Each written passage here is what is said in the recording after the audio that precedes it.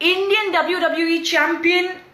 We are very, very proud of him. In fact, he has made India proud globally, right from the sheer attitude of achieving things to uh, the Bhangra, to Indian food, uh, to the warmth that we carry in our hearts despite being competitive. He showed the world what India and Indians are actually made of. I promise you that this is going to be a very exciting and action packed live.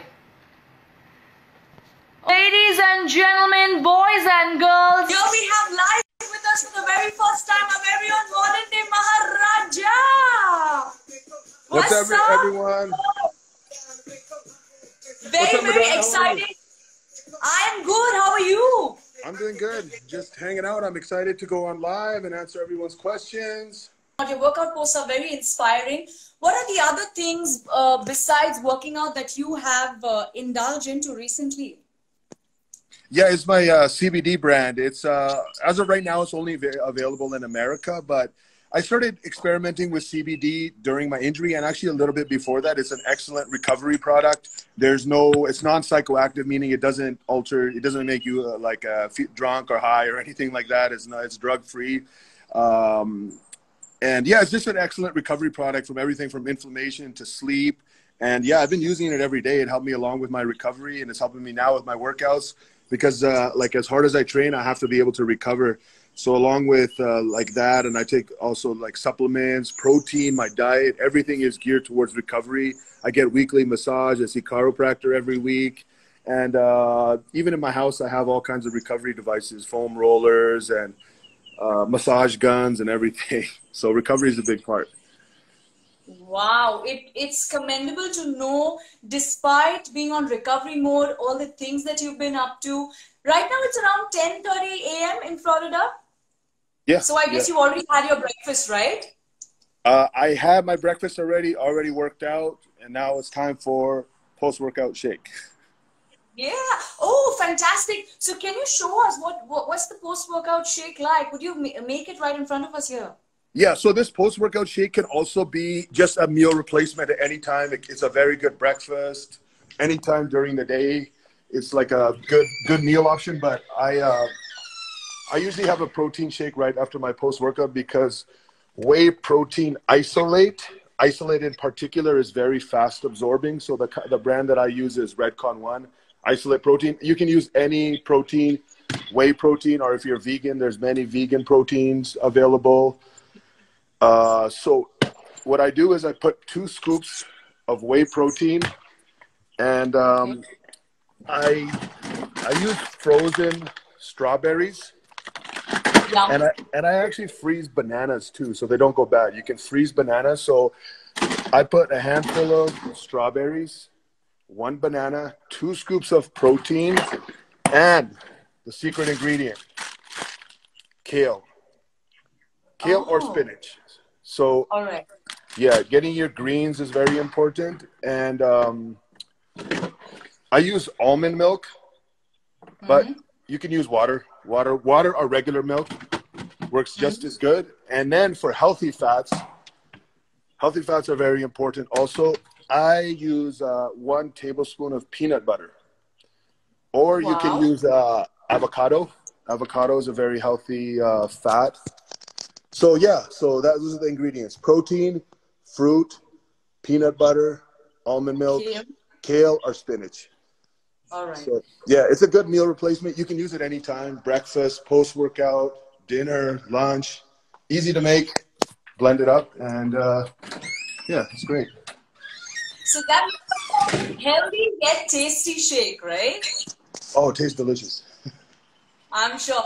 But I read somewhere that you have given up on junk food like pizzas, chips, sodas since years now. How how do you manage? It's commendable. Yeah, so I okay, I, I can't say that I've completely given up because every once in a while I do enjoy a cheat meal, maybe once every two weeks. Uh, but it's also very important because uh, like it resets your metabolism also. So a cheat meal can also like I don't call it a cheat meal, I call it a refeed meal because like it's planned. A cheat meal sometimes like it's not planned, you just end up doing it. But my refeed is very planned and it's to it's to increase my calories for the day so your body doesn't get used to it because your body is very adaptive. So if, if you reduce your calories, your body will get used to that. And um, so if you spike it for one day, once every one week or two weeks, one week if you're lean, two weeks, um, you know, it kind of resets everything. And, and in the long run, you end up seeing better results. I'm, I'm sure. And in fact, after hearing that, I feel so much better because I used to feel so guilty when I'd indulge into some junk food uh, on the weekends or once in a month. But it's nice to hear that we one can do that along with following a healthy routine, right? Yeah, just as long as the next day you get back on track. And also, a mistake people make is after a cheat day, maybe they'll starve themselves the next day. That's not healthy to do either. Just you know, enjoy yourself and then just go back to normal, whatever your plan was. Don't starve yourself because then it, your body just it gets a wrong message that all of a sudden you know you ate so much and then all of a sudden you starve it. So that's a wrong message too. So you know just enjoy yourself and then go back to normal normal diet the next day. So all the fitness enthusiasts pay attention to this one coming from a very own modern day maharaja. Jinder, you started uh, you were fond of wrestling since you were three right so were yeah. you inspired by uh, your uncle gama singh who was also a well-known wrestler yeah, yeah, very much so inspired by my uncle, and uh, yeah, I just loved uh, wrestling. All wrestlers. Uh, I grew up in Calgary, so Bret Hart is from there. Owen Hart is from there. Whole Stampede Wrestling. Everybody was there. British Bulldog was there. Jim the Anvil Neidhart was there. Uh, my uncle Gama used to wrestle for Stampede Wrestling at that time, and so yeah, he was a huge um, huge inspiration to me. And then, you know, he trained me and everything. And even to this day, I still keep in contact with him a lot. And, uh, you know, he's doing very well. So, yeah, hopefully, uh, you know, I can be the inspiration for the next generation. You know, uh, there's uh, our Indian youth, I'm sure. You already you know, are. yeah, I'm excited to see the future, future generations. You already are to this generation, and I'm sure it will be fantabulously encouraging and inspiring all the things that you do for the coming generation too.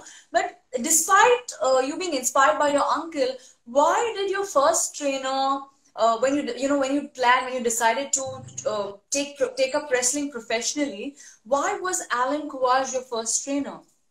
Yeah, so Allen Coage was uh, also he was in the WWE as uh, Bad News Brown. He was pro wrestled everywhere as Bad News Allen. He was just an excellent coach. Uh, he was he he was a local trainer there, and he was friends with my uncle Gama. So yeah, he trained me. And his training was very tough. He was before pro wrestling. He used to do judo, and he was a bronze medalist in the Olympics. And when he trained, he trained in Japan like a very very difficult style. So he trained us the same way, like so much conditioning work, so many push-ups a lot of squats every day. Uh, yeah, he was just a, he was just an excellent trainer, but a lot of uh, he actually helped a lot of WWE superstars, uh, guys like Edge and Christian, uh, former WWE superstar Chris Jericho. Uh, he also like very he was very hands on with you know that whole generation of wrestlers at that time. So yeah, he helped out a lot. Well, I know you learned from the best, and we saw the results you know, we know about your never say die attitude. But although you faced a difficult phase between 2014 to 2015, yet you came out victorious within a year's time. In 2017, you backed the WWE title. What motivated you? We'd all like to know because right now, the world is on a standstill. Everyone's on a lockdown. We could probably use that motivation for today. Yeah, what motivated me during that time was just um, motivation comes from within. You got, you know what I mean? Like external motivation, it doesn't spark long term. You know, you have to find the motivation within. You have to find your reason, your why. So, you know, I found my why. I, uh, I just remembered like my childhood dream of being a WWE superstar. So when it was taken from me, I had many regrets. Like I felt like I didn't give it my all during my first run. So I always thought, you know, if I get a second chance, I'm going to rededicate my life to you know becoming a great WWE superstar, a WWE champion. And um, yeah, within 10 months of coming back, I was WWE champion. So you just have to find your why. Everybody has an individual why. You know, it could be your family, it could be your kids, it could be, you know, the naysayers, everybody telling you that you can't do something. You know, you have to find the motivation within. Everybody has a different reason for motivation. But um, yeah, that long term motivation, it has to come from within. So uh, all Jinder's fans who are watching me right now, wherever you are, keep yourself motivated, be positive. We'll all get through this together. Uh, Jinder, um, we only got glimpses of your uh, home gym on social media. Could you Yeah. please uh, give us a tour around right now? Yeah, yeah. So uh, the home gym is almost complete. I'm waiting for a squat rack still, a lat pull down, and a leg curl leg extension machine. But I'm going to give you guys a tour of everything that I have so far. So here we got the medicine balls, or the slam balls 10, 20, 30, 50. So here are the assortment of bars. So I have like Olympic lifting bar, two power bars. This is called a safety squat bar. So it's a you, you squat with it. It's it kind of uh, gives you like a front squat. Then we have an easy curl bar, you know, for doing biceps and triceps. And then we have th- we have this bar for you can do presses and uh, uh, rows with it. It just gives you a neutral grip, so it's easy on the shoulders. We have the bumper plates, so we can slam around the weights. You know, have the rubber flooring. So Alright. this is a good, very good machine, very versatile. We have the uh, cable crossover. You can do many things on here.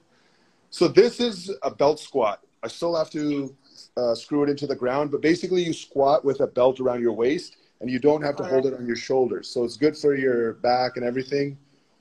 Then we have the this is called a glute ham raise. So you can do a variety of exercises. You can do hyperextensions for your lower back. You can do uh, sit-ups on it, or you can work your hamstrings on it. Then we got all the dumbbells, five to 100 pounds. This right here is the piece of cardio equipment that I've been using. It's the Airdyne bike. So there's a fan in it. So the harder you push, you pedal and you and you use these handles, the harder it becomes because of the fan. Then we have the plyo box, do jumps on it, everything on here. Then we have the bench, adjustable bench, Oh, and Nice. dumbbells that I was doing curls with. So that's the so these are the mean machine that these are the mean machines that make the beast a modern day Maharaja.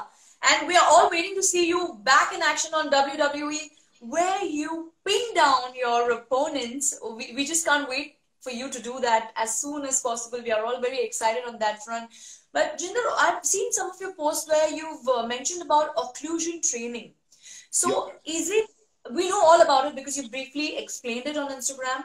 But is it more effective than uh, weight training or CrossFit? How is it? Um, I wouldn't say it's more effective. Everything is effective. Any type of exercise is effective, but you need a variety. I like to switch it up. Some weeks I'll do occlusion training. The good thing with occlusion training is if you don't have a lot of equipment or you don't have heavy weights, it makes it more effective, the weights that you have.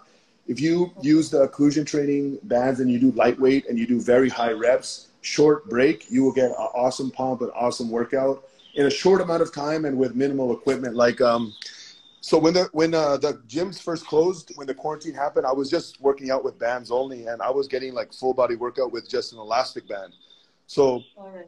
it is possible. or I mean, uh, like even if you don't have a dumbbell, you can use water jug, right? It's just you- Ah, you just have to get creative if you don't have the equipment. But if you have the equipment, it's nice. Everything is good. CrossFit is good. Weight training is good. Cardio is good. We just need to do something. You know, something is better than nothing always. Absolutely. Where there is a will, there is a way. But I always have a will to work out. Yet there's one thing that I am weak at, and I'm sure most women go through it because on Live Connect, it's not just about knowing you, it's also about learning something from uh, a champion such as you. So, can you help us with uh, women find it difficult to do push ups? Yeah. Can you help us with the easier and the right form to do a push up? Yeah. So I'll show women and men. It's very very similar. So we get down here, right?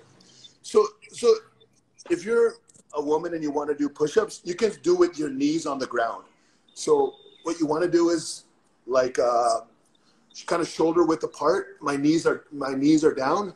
Keep your core nice and tight, and you can push down and up. And if you're a man or you're more an advanced fitness female, then you can do it this way chest down a, a- a lot of people do like are like they have their hips up I am one of them. so you, you know what i mean you want to keep your body straight as possible like uh, keep your core tight whether knees Uh-huh. knees down same thing you know just a nice motion and you can you can start with what, whatever you're comfortable with. If one is all you can do, you know, do one every day, and soon you'll be doing two. Soon you'll be doing three. So you know, wherever, don't be, uh, you know, don't think like, oh, okay, I can only do one or I can only do a few. I'm not going to do it. You know, everybody's at different level. You know, there are some beginners, some are more advanced, but you know, everybody starts somewhere. So you know, just start basic, build a good foundation, build off good form, and go from there. So keeping the form right is key. Yeah, yeah, good form is the most important thing, and it will prevent any injuries and everything. And uh, over the long run, you know, you can build off a good foundation of good basics. Now that we got a chance uh, to see you, to see your home gym, and you've done some amazing push-ups for us, can you flex your muscles a little bit, please? Ah. Ah, that's it. Fantastic. All your uh, fans are writing, oh, oh, oh, oh, oh. I don't know why they're saying oh when they should say wow. it is phenomenal to see that. Um, looking at your body, your muscles, have you ever thought of featuring in films? Because uh, some of your comrades like The Rock, Batista, and even the great Khali, they featured in films. So any plans on that end? Um, yeah, I would like to. Uh, just right now, my main focus is WWE, but in the future, definitely, I uh, I'm up for the challenge because I know it is difficult. I respect you know acting very much. It's very much a performance art, and it is a very art, and it's very difficult. And I'm up for the challenge. It's uh, it would teach me a new skill and everything. So yeah, definitely down uh, down the line, I could see myself you know getting into acting. Whoa, you don't know how excited and happy our fans are here to uh, to hear that. Uh, what about Bollywood films? Would you like to feature in Bollywood films? Yeah, yeah, of course. I think I would make a good villain. So, so my next question is, uh, Varun Dhawan is a young uh, Bollywood actor, very famous actor. He follows yeah. you. He loves WWE. Yeah. Would you like to feature in a film with him? Yeah, yeah, of course. Varun is, uh, you know, very prominent member of the WWE universe. Big fan. I met him uh, when we when we came for the match over there, and actually he's done a lot of interaction with WWE superstars when they come to India. Yeah, definitely. I'm a big fan of his, and uh, you know, he's a big WWE fan, so I think that's a natural uh, uh, pairing for. Yeah, definitely. I would love to. And what about? An actress who who you'd like to share the screen space with? So I'm a little bit old school. I like when I when I was a kid. you know, I liked uh, Kajol and Aishwarya Rai, Rani Mukherjee. You know, these were my favorites. Um, you know, Karishma Kapoor. So maybe Kareena Kapoor. Oh, but yeah. I, I like the I like. In fact, I like all your choices. I want you to pick one. Don't make it so difficult for us. Okay, let's go Kajol from uh, from my childhood. I mean, I don't mean to age. She's still I very young you very picked up the best option because even I love her personally. She's so expressive, right? Yeah, yeah, yeah. So, but all uh, talking about, uh, I'm sorry. I said all of them are good. I would, I would love to, you know, be in. All a, of them are great, but all of them are great. Yeah. Kajol, it is Kajol. If you're hearing Jinder right now, he'd like to pair with you in a Bollywood film, and we're all be excited to see that. Uh, well, yeah. Jinder, you won uh, the WWE title in 2017 and you came to India. It was an incredible tour. Even I have some fond memories of it. What is that one thing that you miss about India the most? Uh, I miss the passion of the fans. It's unlike anywhere I've ever experienced. You know, we travel everywhere in the world, but the the passion that yeah, the Indian WWE universe had when I came for the tour and then also for the match.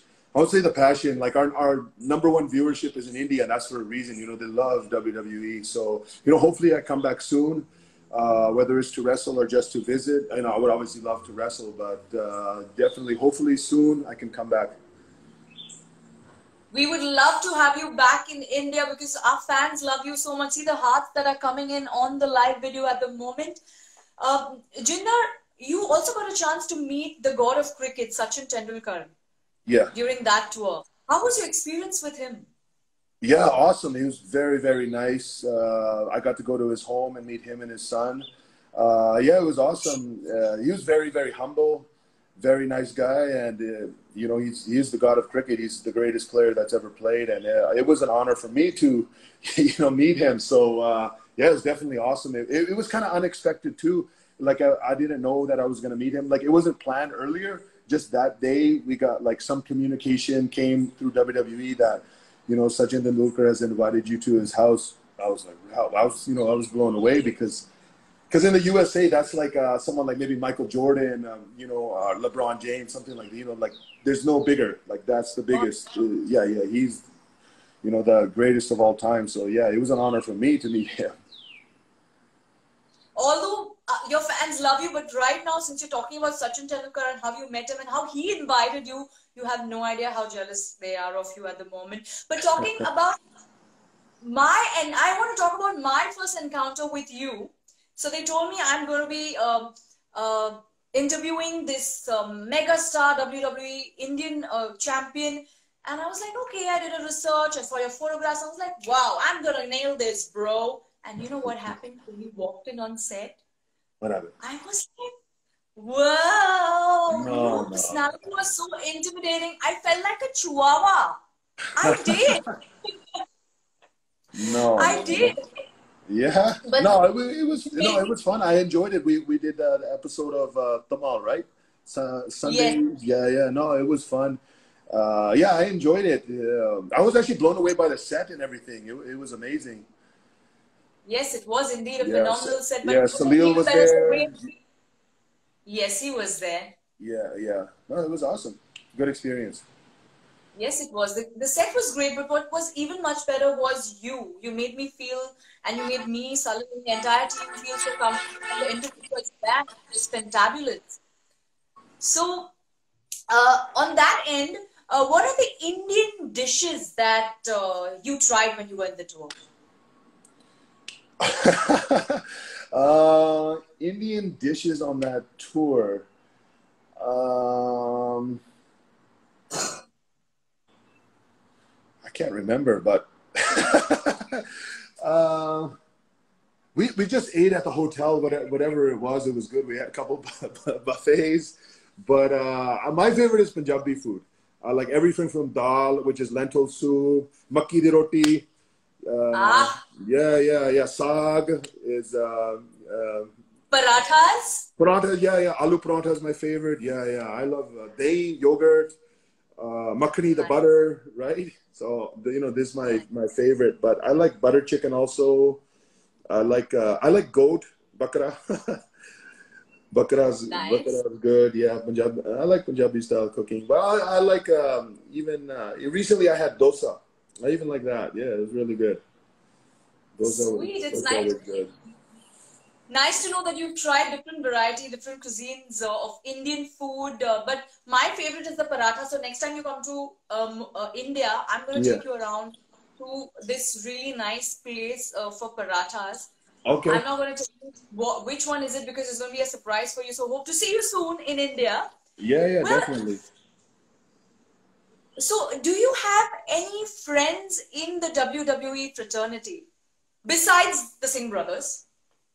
Yeah, I have many friends. Friends with uh, with uh, everyone, mo- mostly. But my main uh, friend that I used to travel with before I got hurt and go to work out with was Drew McIntyre, now WWE champion. So from our history together, being in 3MB, we were released at the same time uh, in 2014, and you know, much like myself, he's made a big comeback and he's become WWE champion. Uh, so yeah, Drew's my good friend, but um, a lot, lot of new guys right now in the locker room. A new, uh, like new generation guys from NXT. You know, they're all super cool. But before my old riding partner, everything was great. Khali. I spent a couple of years. I was his driver. You know, I used to do all the driving, and we used to travel together. So those are my main two travel partners for many years. Great Khali and then Drew McIntyre. I know we enjoyed that Punjabi prison match uh, with Great Khali. Are we going to get a chance to see a Punjabi prison match again? Yeah, I hope so. Uh, I mean, it is a very tough, tough match. It's grueling. It was so painful. The, it was so solid. The Punjabi prison match. Like if you, if you if you go to shake it, it's like it's heavy. It's thick, thick steel. I know it looks like bamboo, but you know, it's steel. It's, it's it was a grueling match, but yeah, hopefully, if you know, when the conditions are right, right opponent, you know, right like. You know, just you know, it has to be a big, big feud with someone to go in the Punjabi prison because it's you know you're going into the prison. You're not the same person when you come out. Like physically, emotionally, everything is very, very taxing. Okay. But you made it look so easy, Jinder. Like the way you're telling it looked tough. I was like, wow, this man is like killing it. uh, thank you, but yeah, it's tough. Hopefully, we can do it again someday. And uh, besides COVID 19 and you getting back on WWE, there's another news that's making headlines that Donald Trump uh, has appointed uh, Vince McMahon as one of the financial advisors. What's your take on that one?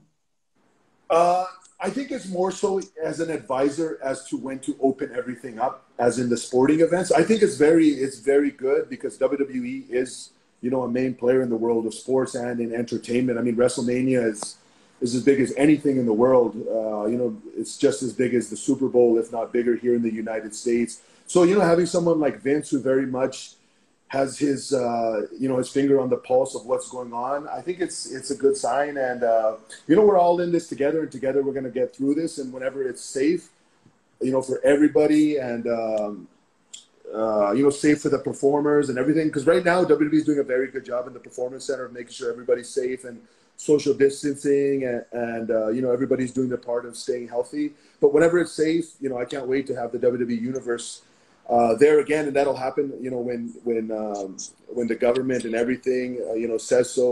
And it's good to know that Vince is uh, is an advisor in that board. And you know, Vince, I'm sure you know he's not going to rush into anything until uh, everything is safe, because ultimately we all care about everybody's health and safety is is number one. Absolutely.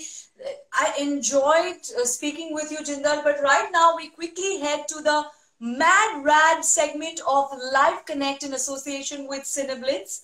So uh, you, your answers have to be either rad or totally mad. No serious. All the serious talk is out now. Okay. All right. Okay. All right. So my first question, and it's like a rapid fire round. It has to be quick as possible. All right. Okay. What do you call? What do you call a hot chick in Punjabi? Sony, Sony Kodi. Arre wah! Fantastic, Jinder. I love that. I didn't expect it. I didn't expect you to know it, but I was. I'm glad you do. Yeah. All right. In uh, wrestling, in the wrestling world, who is your nemesis? Randy Orton. Mm. So one day, if you wake up to see yourself as Randy Orton, what would you do? I Wish I was Jinder Mahal, the modern day Maharaja. Ah, you got me on that one. If your house was on fire, which were uh, which are the two things that you would run back to get in? Uh, my gym equipment and my two dogs. Oh, I didn't know you had pets. Yeah, yeah, I have two dogs. Uh, rank these moves in order of your preference. Super kick, gutbuster, Khallas, jumping, high knee strike. Khallas number one, jumping knee strike number two, uh, the boot three. And four Sorry? is. So Khallas number one, number two, jumping Mhm. knee, number three, right. boot. What was the other one? All That- right. Uh, super kick, Yeah. gutbuster. Oh, But for me. I, I have always enjoyed your jumping, uh, jumping high knee strike. I love it. I love the way you do it. You're like like a flying saucer. All right, we move to the next. Do you dance crazy when no one's watching? no. Maybe in the shower. Maybe. Mm, we caught you right there. So after the lockdown ends, who's the first person you rush to meet? Uh, Great Khali.